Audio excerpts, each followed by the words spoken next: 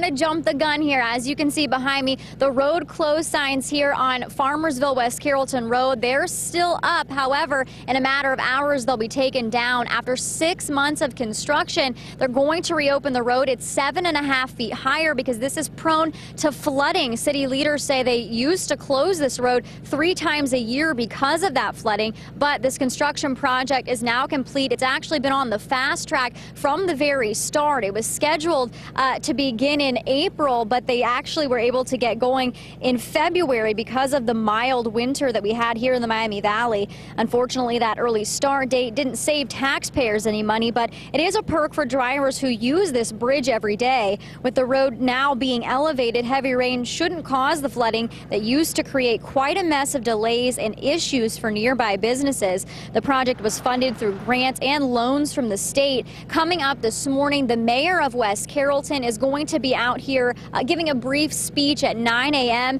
and then the road, they'll cut the ribbon and the road will then be open to drivers a short time after that. Reporting